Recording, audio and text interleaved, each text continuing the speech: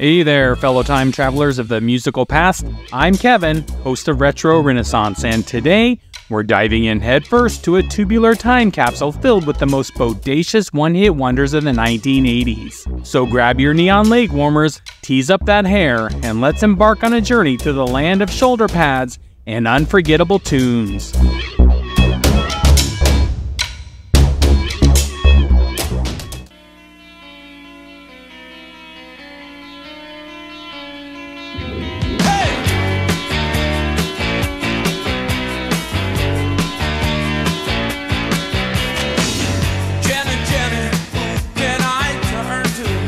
You know, it's not many times where a telephone number can be so ingrained in our minds that it's remembered until the end of time. However, kicking things off, we got the legendary 867 5309 Jenny by Tommy Tutone.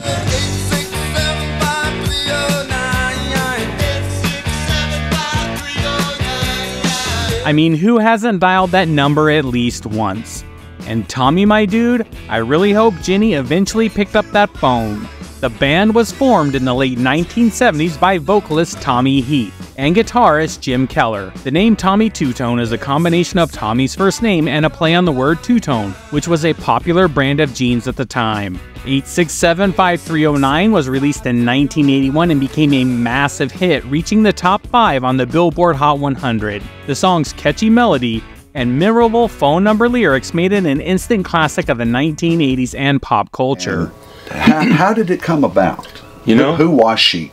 so what, you know, I, unfortunately, that before. unfortunately, the real story is quite boring. I was just a songwriter thing. You know, I was sitting on this bench under a plum tree in my backyard in Mill Valley, California, and I started playing. It's 10 in the morning, you know, it's time to write a song. And I just came up with this number. I don't know where it came from. The song tells the story of a guy who finds a phone number written on a bathroom wall and becomes infatuated with the mysterious woman named Jenny on the other end of the line. However, despite the success of Jenny, Tommy Tutone struggled to replicate that level of commercial success with future songs. The song has remained a staple of classic rock and the 1980s. That's right, everybody, the 1980s is technically considered classic rock now. The song continues to be recognized and enjoyed by audiences even decades after its release. And as you might expect, people dialed that phone number endlessly, causing lots of chaos and people having to change their phone number or just ignore the calls. Tommy Tutone's legacy largely tied into this one hit song, but they are still remembered for their contribution to pop rock sound of the early 1980s.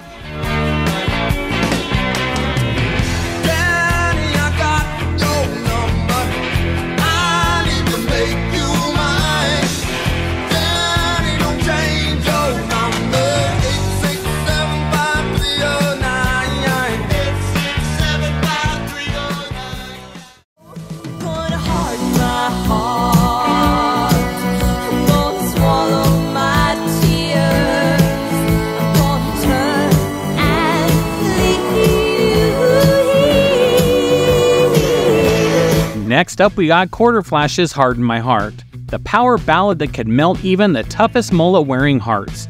I'm pretty sure listening to this song automatically gives you extra perms. Quarterflash is a rock band that gained popularity in the early 1980s with their distinctive blend of pop, rock, and new wave elements. The band was formed in Portland, Oregon in 1980 and was fronted by the husband and wife duo of Rindy Ross and Marv Ross. We were Seafood Mama. Uh, Marv and I were in that band for about five years in the Portland area. And uh, about the time that the band was getting signed, we were also breaking up. And, and so we um, changed some personnel and uh, a little bit changed our direction more toward rock and roll, and it seemed fitting to change the name. So we changed the name to Quarterflash. The band's name Quarterflash is a play on the phrase quarter flash and three quarters foolish. Quarter flash and three parts foolish is an Australian term used to describe new immigrants. It was used to describe people who appeared flashy and urbane, but were actually naive. While Harden My Heart remains Quarterflash's most recognizable hit, they released several albums throughout the 1980s, including Take Another Picture in 1983, Back into Blue in 1985. Despite not achieving the same level of commercial success as their debut, the band continued to tour and record music. Quarterflash's legacy lies in their contribution to the pop rock scene of the 1980s and their ability to fuse rock with elements of new wave, creating a sound that was both distinctive and memorable.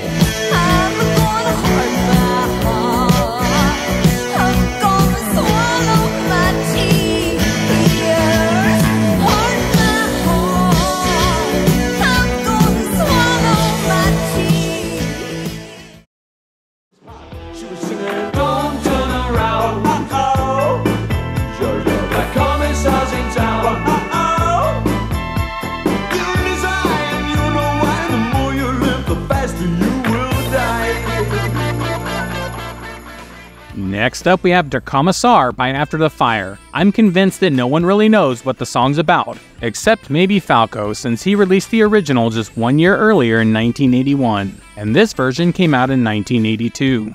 But that doesn't matter because it's got that infectious beat that makes you want to dance like nobody's watching. It was sung by After the Fire. After the Fire was a British rock band that emerged in the late 1970s and gained recognition in the early 1980s. The group originally formed in London in 1971 and went through a few lineup changes before settling into its most well-known configuration. The core members include Peter Banks, John Russell, Ivor Twidell, and Andy Piercy, and this song became a surprise hit in the United States, reaching top 5 on the Billboard Hot 100. And what seems like a long time of just listening to Cha Cha Cha. cha.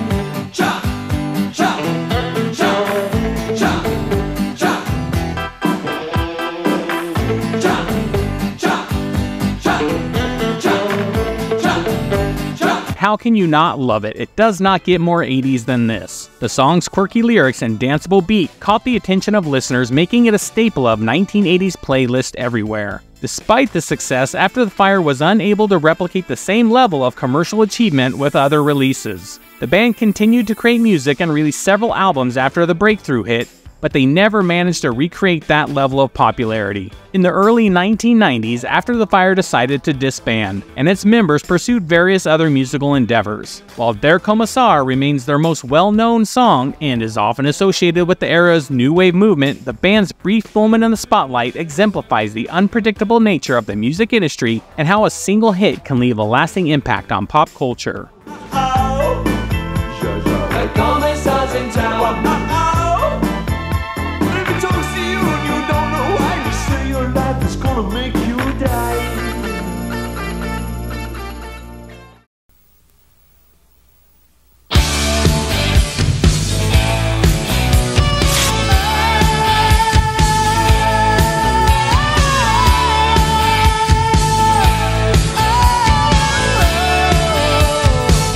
Ready to get your Warrior on? Well, you better be because Scandal is here with The Warrior. This tune is like a musical power up guaranteed to give you the confidence to tackle anything, from conquering that Rubik's Cube or just to conquer your Monday morning. Scandal was a rock band that emerged in the early 1980s known for their energetic sound and charismatic frontwoman. The band was formed in New York City in 1981 by guitarist Zach Smith and bassist Ivan Elias. They were later joined by guitarist Keith Mack, keyboardist Benji King, and drummer Tommy Price, finalizing the band's lineup. However, Scandal's most recognizable member and lead singer was Patty Smyth.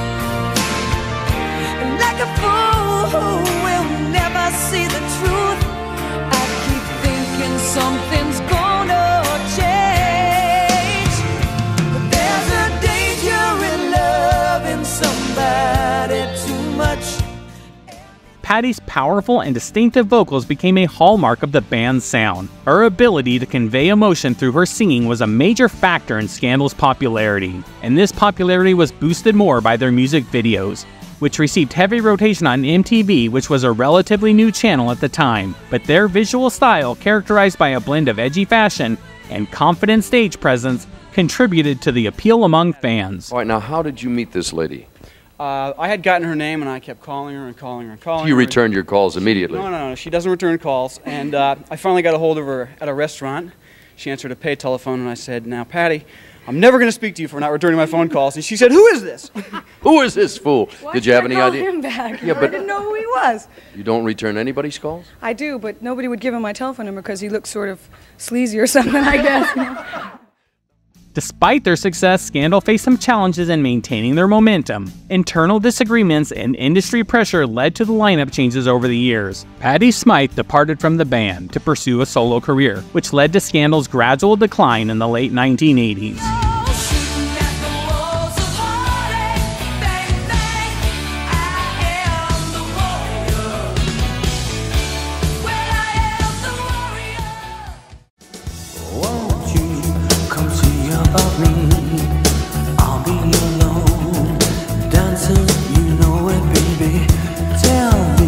Don't You Forget About Me by Simple Minds, the unofficial anthem for all those epic 80s movie montages.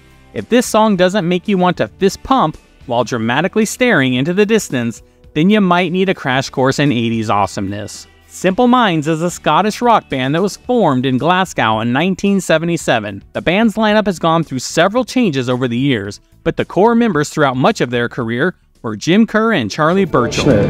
Charlie and I, as I've probably explained to you before, we've known each other since we're eight years old, and really the band grew out of really a school band. We're in the same class at school. And here we are, 45 years later, with this new album, Direction of the Heart still just about getting away with it. They are considered one of the most prominent bands of the new wave and post punk era, with their music evolving over time to include elements of alternative rock and synth pop. In the early years, Simple Minds' music leaned toward a more experimental and art rock sound. They released several albums that gained them a growing underground following, but their breakthrough came with the release of their fifth studio album called New Gold Dream 81, 82, 83, 84 in 1982. This album marked a shift from their musical style, incorporating more synthesizers and electronic elements. However, it was their 1985 album, Once Upon a Time, that propelled Simple Minds to international stardom. The album included their most iconic song, Don't You Forget About Me, which was famously featured in the soundtrack of the movie The Breakfast Club. The song became an instant classic and remains closely associated with the 1980s and the concept of teen angst and rebellion. Simple Minds released numerous albums and achieved critical acclaim. While they never replicated the same level of commercial success as Don't You Forget About Me, they maintained a dedicated fan base and continued to tour and create music. Their impact on the music industry is undeniable, with their songs and albums influencing subsequent generations of musicians. Simple Minds' ability to evolve their sound while staying true to their artistic vision is a testament to their enduring legacy in the world of rock music.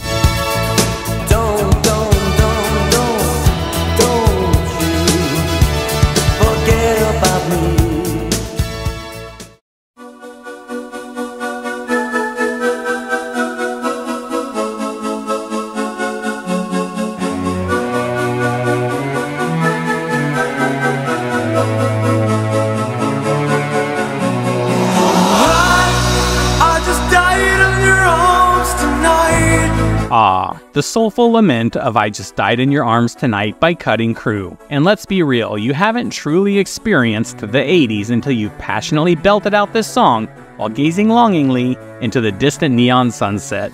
Cutting Crew is a British rock band formed in 1985 by vocalist Nick Van Eede. The band's lineup has seen several changes over the years, but Nick Van Eede has remained a constant presence throughout their history. Cutting Crew, welcome, welcome in the studio. Uh, Nick Van Eden is his name. Nick Van Eden, you're Dutch?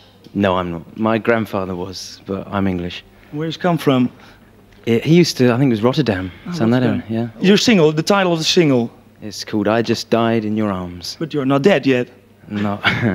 it's a song about uh, dying in ecstasy. Dying ecstasy.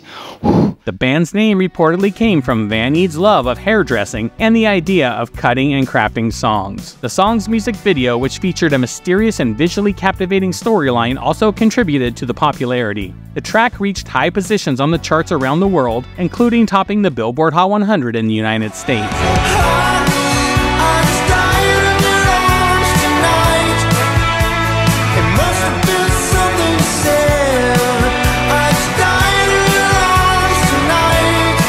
Despite the challenges of maintaining their early momentum, Cutting Crew continued to release their albums and tour. Their music often featured a mix of rock and pop sensibilities, with Van Eede's distinctive vocals remaining a signature element of their sound. The band's impact on the 1980s music is primarily tied to their breakout hit, I Just Died in Your Arms Tonight. The song has endured over the years, becoming a nostalgic anthem for the era. Its memorable chorus and emotionally charged lyrics have ensured its place in the pop culture lexicon. So while Cutting Crew may be considered a one-hit wonder, their brief moment in the limelight left a lasting impression. I Just Died in Your Arms remains a testament to the power of a well-crafted song and the ability of music to invoke powerful emotions and memories.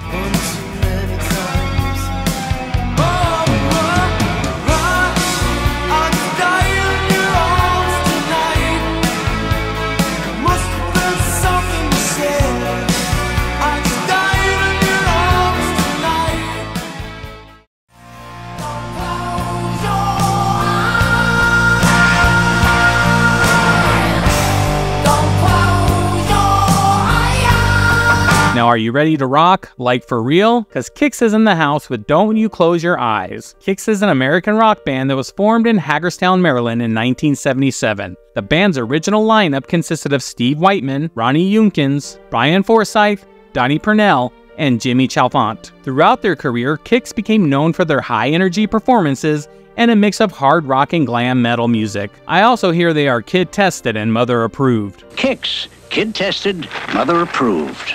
Their most commercially successful album was Blow My Fuse, released in 1988.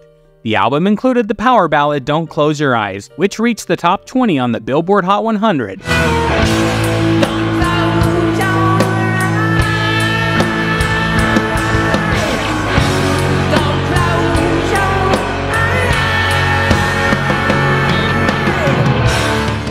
The song's emotional lyrics and melodic quality resonated with listeners and showcased a different side of the band's musical capabilities. Throughout their career, Kix's music embodied the spirit of the times, blending the grit of hard rock with the flash of glam metal. Their music remains a beloved part of the 1980s rock landscape, and their live performances continue to capture the excitement and energy of that era. Kix's story serves as a reminder of the diverse range of bands that contributed to the vibrant rock scene in the 1980s, showcasing the power of music to bring people together and create lasting memories.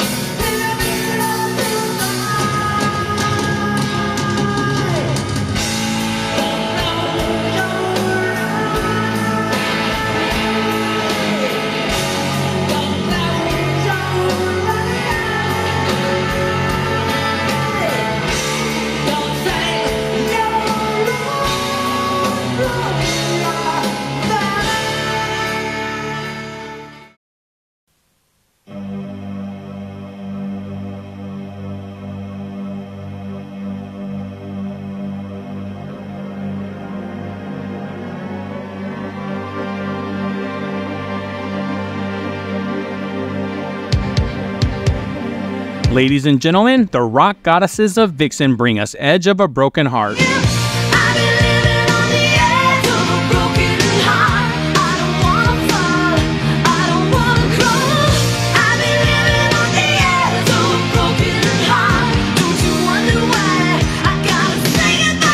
like they bottled up the essence of big hair and unleashed it in a sonic explosion of pure, unadulterated 80s energy.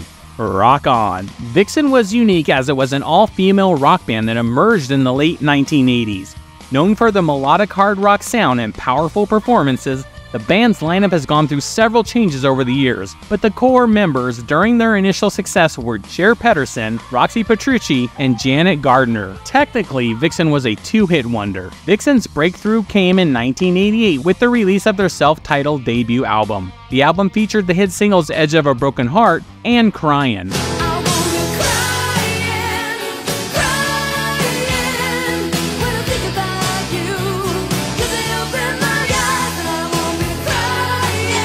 Both of which showcase the band's ability to deliver powerful hooks and memorable melodies. Edge of a Broken Heart in particular remains one of Vixen's signature tracks, known for its catchy chorus and rock attitude. The band's pioneering role as an all female rock outfit in the 1980s left a mark on the industry, proving that women could rock just as hard as their male counterparts. Who's the keyboard player for Vixen? People give us a hard time about this. Um, it's a really great friend of ours. His name is Michael Alemagna. Uh-huh. And we're very proud of him. He is a guy, but we're very proud of him. He's great. Though their time in the limelight was relatively short lived, Vixen's influence on the rock scene and their contribution to the evolution of female representation in rock music remains important aspects of their legacy. Their songs continue to be celebrated by fans of rock music, especially those who appreciate powerful vocals and memorable guitar driven melodies.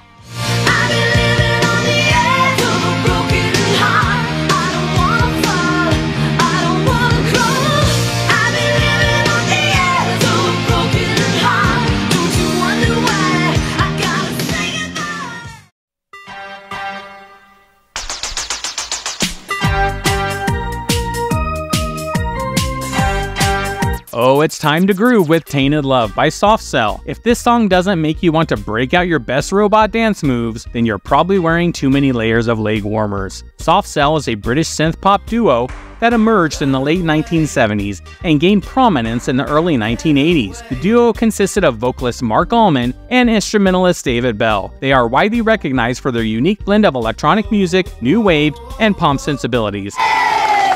And David, welcome to the show. I see you've even brought your own neons along. Now that's pretty impressive. Yes, uh, these are the neons that we use on stage in our uh, live show. Um, Why are you into neon? Well, it, um, it, makes a nice change, really, from having the ordinary sort of stage lights, and they uh, flash on and off, as we can see in the microphone and keyboard oh, yes. motif there. And they've, got a nice showbiz, sort of uh, Las Vegas type of feel. I also think Ricky Gervais took his musical cue from Soft Cell. That's right, before Ricky Gervais became Ricky Gervais, he was a singer. Well, he was in a band.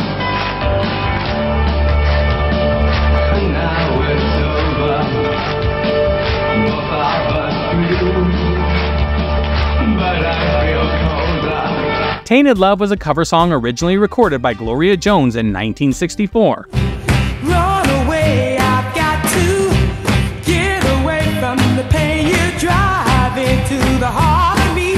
Soft Cell's version gave the song a fresh electronic makeover featuring a catchy synth driven melody and Marc Almond's distinctive vocals. In 2001, Soft Cell reunited for a tour and eventually released a new album called Cruelty Without Beauty in 2002. The album marked their return to creating music together and showcased their evolving sound. Soft Cell's legacy endures through their pioneering use of electronic music, their memorable hit songs, and their influence on subsequent generations of artists. Tainted Love remains an iconic track that continues to be celebrated and played across a variety of platforms, including films and television, and secures Soft Cell's place in the pantheon of 1980s music.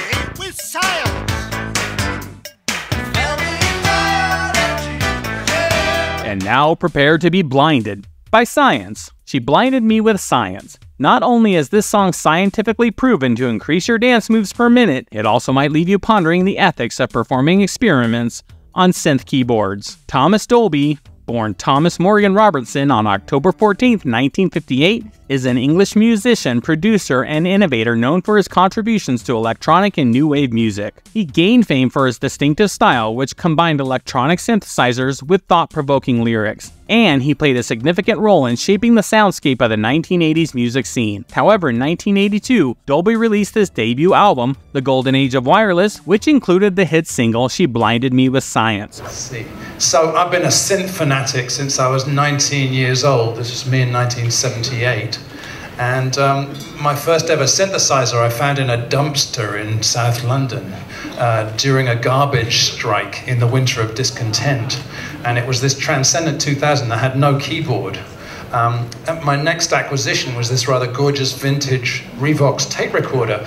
And using this and a Boss Dr. Rhythm, I was able to ping pong back and forth between the tracks and make my first set of demos. The song's quirky lyrics, catchy melody, and memorable video featuring Dolby in a mad scientist role earned it significant airplay on MTV and radio stations. She Blinded Me with Science remains one of the most recognizable tracks and quintessential representation of 1980s new wave music. After achieving success with his music, Dolby turned his focus on technology and academia. He worked in various roles related to technology and sound, including teaching at Johns Hopkins University's Peabody Institute. While Dolby's music output slowed down over the years, he remained active in various projects, including collaborations and live performances. His legacy as a pioneer of electronic music, along with his influence on pop culture, continues to be celebrated by fans and those who appreciate his unique blend of technology and musical creativity.